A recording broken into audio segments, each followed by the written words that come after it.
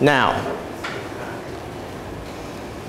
Q here is the heat flux. It is amount of energy per unit area per unit time. Okay? So by itself, Q equal to heating rate over area. If you take this Q, this Q is found based on temperature profile.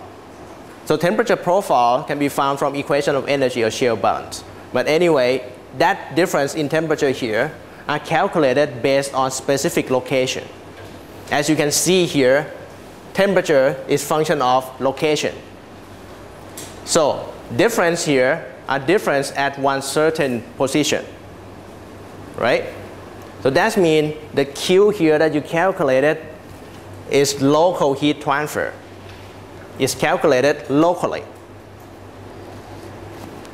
So based on that, if you use overall heat flow rate or heating rate here, represented by Newton law of cooling, Q supposed to be equal to heat transfer coefficient, A, and A here and A there would gone, right?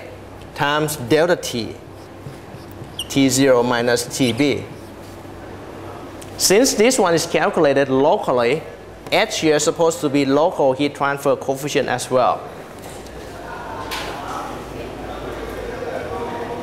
Then you can take Q here up to this point and rearrange. Delta T and delta T here will cancel out, right? Then you can get uh,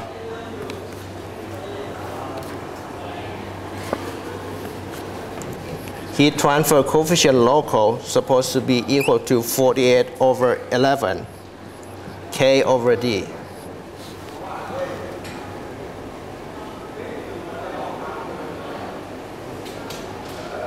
Okay?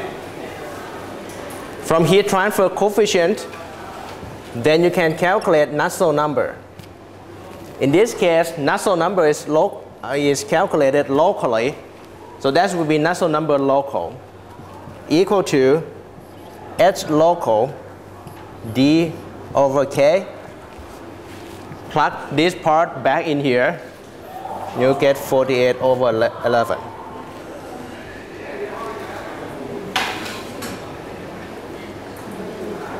So if you change definition here that you use from local, local um, heat transfer to logarithmic heat transfer, delta T is supposed to be delta T log mean. You can rearrange, you can get Nusselt number log mean to be another form, right? So this example show you how can we use temperature profile and come up with the correlation that show you Nusselt number.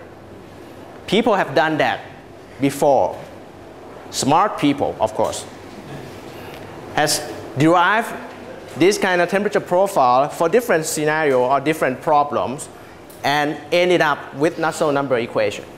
This kind of equation here will be given in the uh, in the handout or in the handbook of chemical engineering.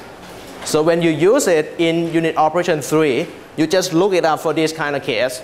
You know that if you have vertical pipe flowing and constant heat, heat flux, Nusselt number is 48 over 11. And use that directly for energy balance. Okay? All right, any question?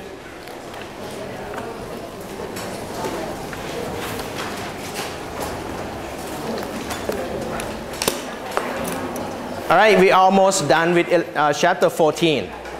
On Friday, we will finish everything.